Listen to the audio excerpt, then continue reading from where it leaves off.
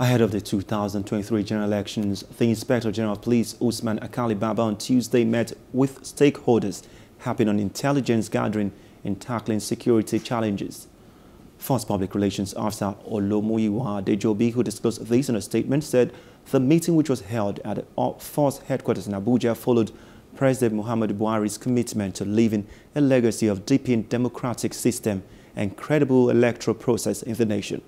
He said the IGP engaged in tactical meetings and conferences with various stakeholders to build solid standard operating procedures and strategic communication action plans geared towards having a seamless electoral process for next year.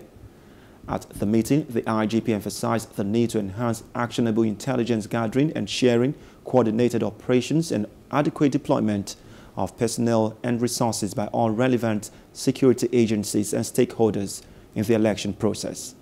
Hello, hope you enjoyed the news. Please do subscribe to our YouTube channel and don't forget to hit the notification button so you get notified about fresh news updates.